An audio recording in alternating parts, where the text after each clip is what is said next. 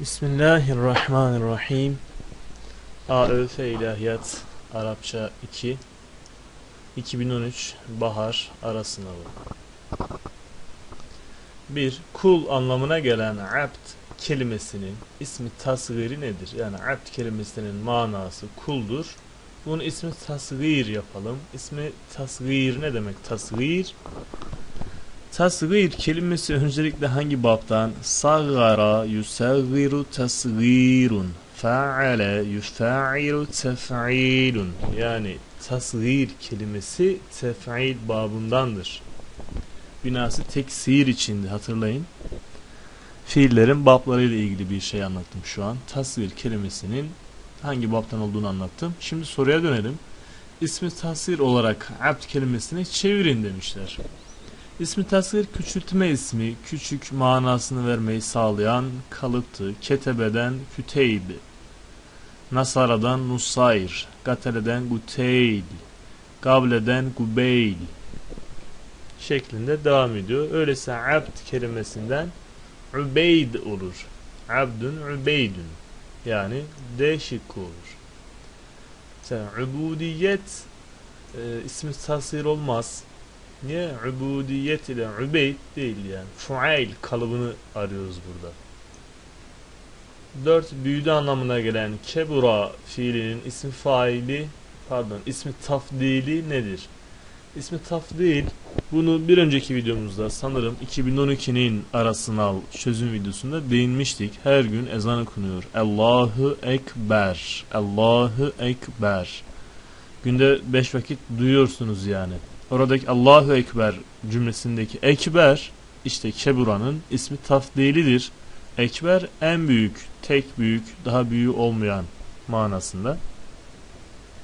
İsmi tafdildir. Kebura'dan Kebura mazisinin ismi tafdilidir. Kısacası Ekber neredeyse odur. O da C şıkkı olmakta. C şıkkı demek ki Ekber e, Kebura'nın ismi tafdili Ekber'dir. Unutmayalım bunu. Allahu Ekber. Allahu Allah nedir? Ekberu en büyüktür, tek büyüktür, daha büyüğü olmayan varlıktır. Yegane büyük olan varlıktır. Soru 2'ye baktığımızda eş anlam, zıt anlam sorusu sorulmuş. Bu tamamıyla mana ile ilgili. Manayı bilirseniz yaparsınız, bilmezseniz yapamazsınız. Bu tarz kelime manasına dayanan 200 soru anca çıkıyor. Yani hiç kelime manası bilinmese bile bu sınavın altından kalkılır. Es'at mutlu manasında, eşkada şikayetçi manasında. Dolayısıyla cevap zıt anlamlısı arandığına göre E şıkkı olacaktır. Beşinci soruya baktığımızda ihtemele fiilinin ismi mef'ulü hangisi olur demişler. İhtemele kaç harften oluşmakta? Üç harften değil. Madem ki üç harften oluşmuyor, öyleyse bunun kalıbı neydi isim mef'ulün kalıbı? Bilelim yani bunu. Mensurun, mektubun, meftuhun. Bu kalıp üç harfi olan, mazisi üç harften oluşan fiillerin ismi mef'ulü bu kalıpta gelir. Mensurun, mektubun şeklinde. Ama bu mazi olan ihtemele üç harften oluşmamıştır. Bu durumda bunun ismi mef'ulü mensurun, mektubun bu kalıpta olmaz. Peki hangi kalıpta olur? Muhtemelün. Muhtemel ki şöyle şöyle derler ya Türkçe'de de kullanılır. Muhtemel olur. Mesela mahmul üç harfli fiilin isim mef'ulüdür. Mensurun, mektubun deminden de söylediğimiz bu. Eğer ihtemele yerine hamule yani üç harften yazılsaydı veya hamele yazılsaydı mahmul diye gelirdi. Hamilun bu kalıp hangi kalıptır? Sıfatı müşebbehe olabilir. ismi mef'ul olabilir. E, semai olarak. Veya mübalağa vezni olabilir. Birkaç şey olabilir ama isim mef'ul değil yani hameletün değil muhtemilun zaten mimin esesiyle yazılmış. Yani son harfin bir sağ esrili bu durumda muhtemil nedir? İsmi faildir. Son harfin bir öncesi fethalı olmalı ki ismi meful olabilsin. Yani mim fethalı yazılmakta. Muhtemelün ismi mef'ul muhtemilun ismi fail. Üçüncü soruya bakıyoruz. 3. Halaga fiilinin ismi faili nedir? 3 harfli mi? 3 harfli ismi fail nasıl gelir? En sağda birinci harf ile ikinci harf arasında elif getirilir. Şu an halaga yani ha ile lam arasında elif getirilir. Halik kalıbına gelir. O da nedir? A şıkkı. Halik budur. Burada ketebe yazsa katib nasara yazsa nasır kefara yazsaydı kafir kalıbı gelirdi. Haraca harici yani devam eder yani bu şekilde. Sonuç olarak A şıkkı. 6'ya baktığımızda talibatu nokta nokta. Noktalı sorular çıkar yani. Bu yaygın bir soru tarzıdır. Soru tarzı olarak yaygındır. Boşluğa en uygun kelime ne olarak getirilmelidir? Dalibat kelimesine bağlı. Madem ki noktanın sağında kelime var, öyleyse o sağdaki kelimeden faydalanmak lazım. Dalibat kelimesi ne tür bir kelime? Bunu bilirsek gerisi gelir. Dalibat cemi müennes salimdir. Nereden anladım? Kelime açık T ile bitmiş sağında da dik bir elif var. Bu onun cemi müennes salim olduğunu gösterir. Öyleyse şıklardan cemi müennes salim bulmalıyım. Mesela tekra'u değildir. Kara'e yekra'u yekra'u yekra'an yekra'une tekra'u. Tekra'u sonuç olarak müfrettir. Tekra'ani tesniyedir. Tekra'ne e, nedir? Bu da cemidir ama muhatabadır. Bize ne lazım? Gaybeninki lazım. O da yekra'ne olacaktır. Yani değişik. Tekra'ine müfret müennes muhatabadır. Yani o olamaz. Sonuç olarak aranan şey cemi müennes salim ve gaibe olmasıdır. O da yekra'ne D şık olmakta. Yine noktalı bir soru. Mantık aynı arkadaşlar. Sağ taraftaki kelimeden faydalanmak lazım. Ne yazıyor? Muzaffatu yazıyor sanırım. Pek net değil ama. Ne yazdığı da önemli değil. Manası da önemli değil. Dikkat ediyorsanız mana üzerinde hiç durmuyorum. Manayla bir alakamız yok. Kelimenin çeşidiyle alakalı durum. Kelime neyle bitti? Açık T sağında elif var. Dik elif. Bu cemi müennes salim olduğuna delildir. Öyleyse bize de cemi müennes salim bir kelime lazım. Bunu bulmamızı istemişler.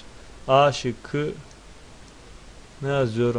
Adda mı diyor? Yani bayağı şu an yakınlaştırsam okuyabileceğim de biraz uzak şu an.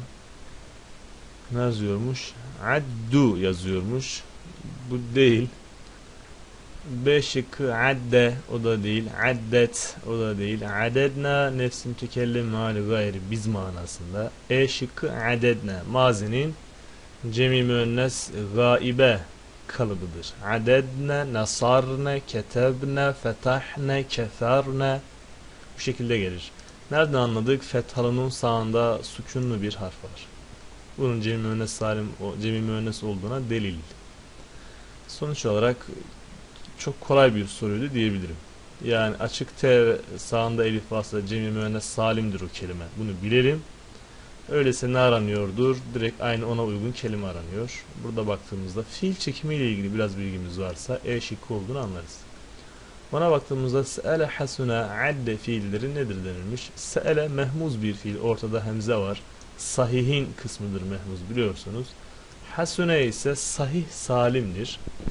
Sahihtir çünkü vav elifiye ile harfleri bunlardı. Bunlardan hiçbiri yok kendisinde. Bu onun sahih olduğunu gösterir. Peki salim olduğunu nereden anladım? Çünkü sahihin 3 kısmı vardı. Muzaf olabilirdi. Muzaf olabilir mi? Olamaz. Şeddesi yok veya aynı cinsten iki harf göremedim. Demek ki muzaf da değil. Yani e, mehmuz değil çünkü hemzesi yok. Geriye kaldı? Sahihin sadece salim kısmı kaldı. Adde, adde'ye baktığımızda şeddeli bir kelime, şeddeli bir fiil, öylesi muzaf fiildir. Çözümü kolaydı yani. Sekizinci soru nokta nokta nokta. Ne yazılmış? Ene yazılmış. Ene ben manasına gelir. Öyleyse ben manasına uygun bir kelime aranıyor. Eddecacı tavuktu külle her gün tüm gün manasına geliyor. Kelime ekele kelimesi. Ekele kelimesinin doğru çekimiyle ilgili bir durum. Ekele, ekela, ekelu şeklinde devam ettiğimizde a külü, na külü. A külü gelir. B şıkkıdır. Fiil çekimini bilip bilmemenizle alakalı bir soruydu bu. Ama biraz daha hassas bir soruydu. Bunu da yapma ihtimaliniz birazcık zayıftı. 11. soru aşağıdaki fiillerden hangisi mebnidir? Mebni neydi? Mureb'in zıttı. Mureb nedir? Sonu değişebilen. Mebni sonu değişmeyen. Mebni denildiğinde aklımıza direkt ne gelmeli? Fiili mazinin tüm sığaları mebnidir. Emri hazırın tüm sığaları mebnidir. Fiili muzayerenin sadece cemi müennesleri yani yef'alne tef'alne kalıpları mebnidir. Geri kalan muzari kalıpları ne? Mureb'tir. Bunu bilmemiz gerekiyor. Buna göre 11. soruya baktığımızda burada C şıkkı yeftahne, yef'alne kalıbını görüyoruz yani C müennes kalıbı ne demiştik? Sonu fethalı bir nun, sağında sükunlu bir harf var. Soru kolaydı. A şıkkı yektubu, ketebe yektubu, fiili muzari, müfredi. Nermi biz manasına gelen nefsin tükellim mali gayr. D şıkkı müfret müennes muhataba. E şıkkı ise tesniye muzaridir. 12 efali hamse ile ilgili bir soru gördük. Ee, ifadelerden hangisi yanlıştır? Fetha ile mensuptur denilmiş. Efali hamse fetha ile mensup olur mu? Olmaz. Efali hamsenin irabı ne iledir? Nun varsa raf hali, nun yoksa hem nasb hem de cezm hali olur. Kısacası A şıkkı yanlış. Diğerleri doğru. Şöyle biraz daha aşağı kaydıralım. Dokuzuncu soru tercüme sorusu. Yani tercüme yapabilmek için kelimelere hakim olmanız gerekir. Aliyun Ali ve İsamun İsam. Ali ve İsan adındaki iki öğrenci nedir? Dalibani öğrencidirler. Nerede? Fil medreseti saneviyeti. Lisede. Medreseyi saneviye lise manasına gelmektedir. Buna göre hangisinde lise yazmıyorsa o elenir. A şıkkı öğrencidir deyip bırakmış olmaz. B şıkkı okulda öğrencidir. Sadece medresedesi okul derdim de saneviye kelimesi de var. Bu durumda A ile B elendi. D şıkkı lisede öğrencidir. Ali ve İsam. Lisede öğrencidir. Doğru.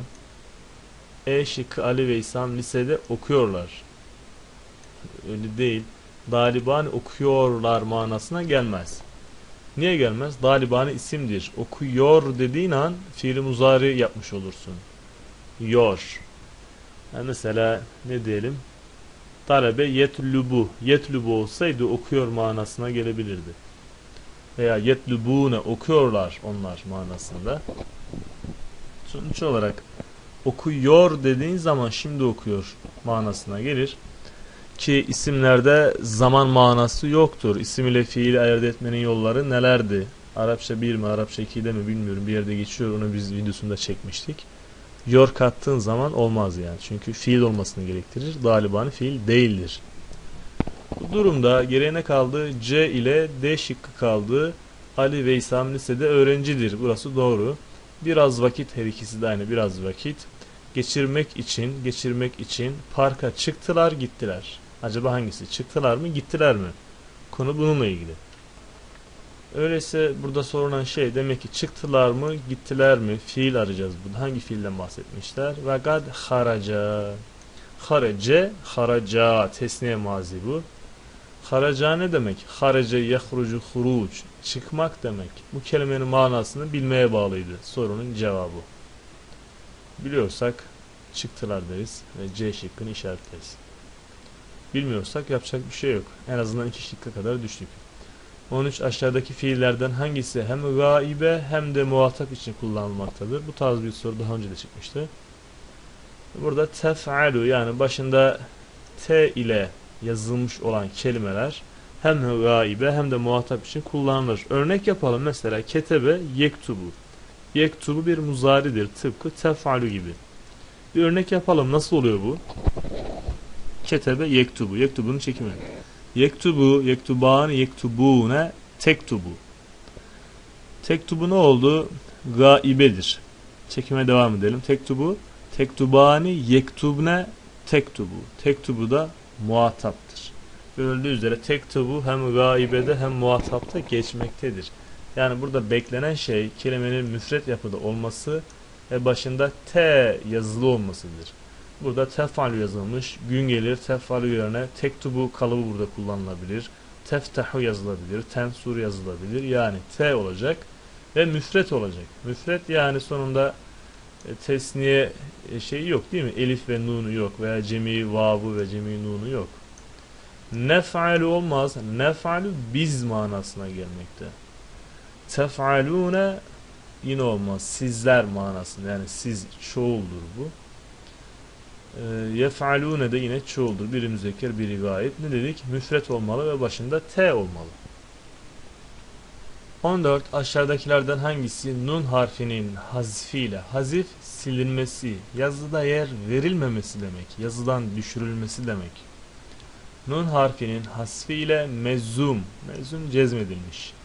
Emri gayb sıygasıdır. Emri gayb, gayb üçüncü sıyga, emir üçüncü sığgaya emretmek. Üçüncü şahsa emir kalıbı yani.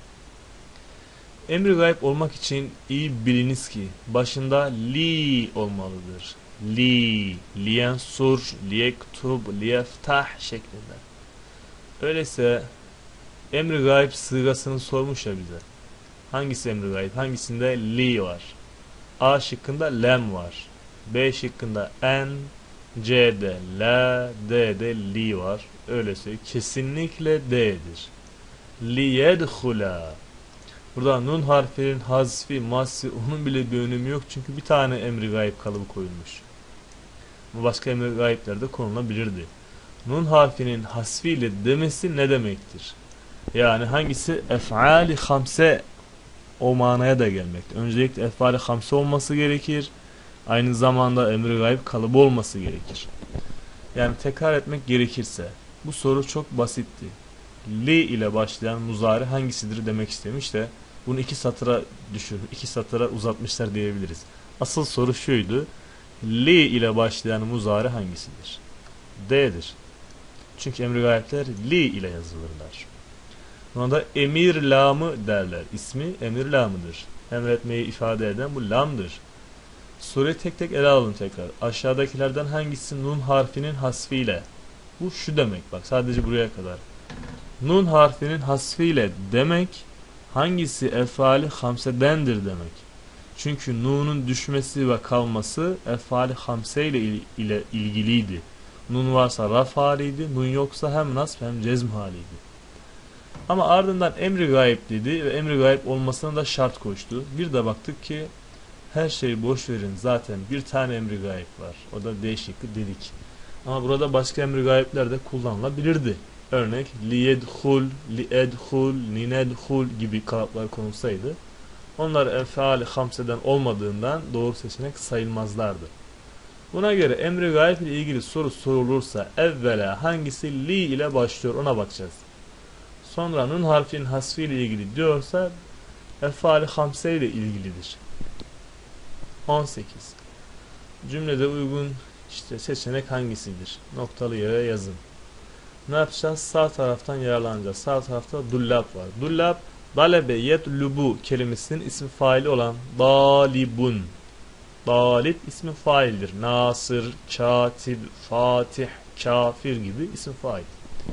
İşte talip kelimesinin e, cemi mükesseridir bu. Çekelim. Dalibun, dalibuane, dalibune, dullabun. İşte dullabun geldi. Daha devamı da vardı oraya kadar yani şu an geldik.